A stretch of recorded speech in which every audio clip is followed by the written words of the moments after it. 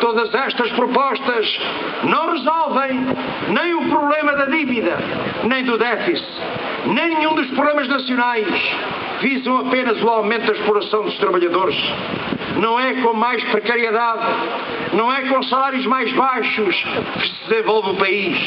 É com emprego com direitos, é com a valorização dos salários, com a estabilidade dos vínculos que se garante e constrói um país desenvolvido e de progresso que rejeita o estafado modelo de salários baixos.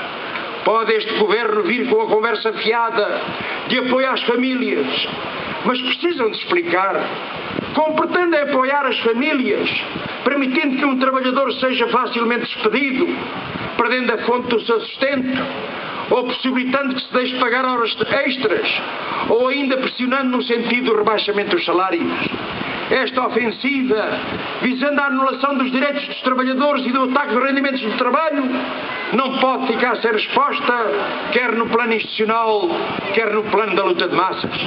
E se há quem pense que os trabalhadores e o povo estão condenados a assistir de braços cruzados à destruição das suas vidas, é necessário que se lhe recorde que com outros governos sustentados em maiorias na Assembleia da República, que se julgavam estar seguros de pedra e qual, não só foi possível interromper os seus planos, como derrotá-los.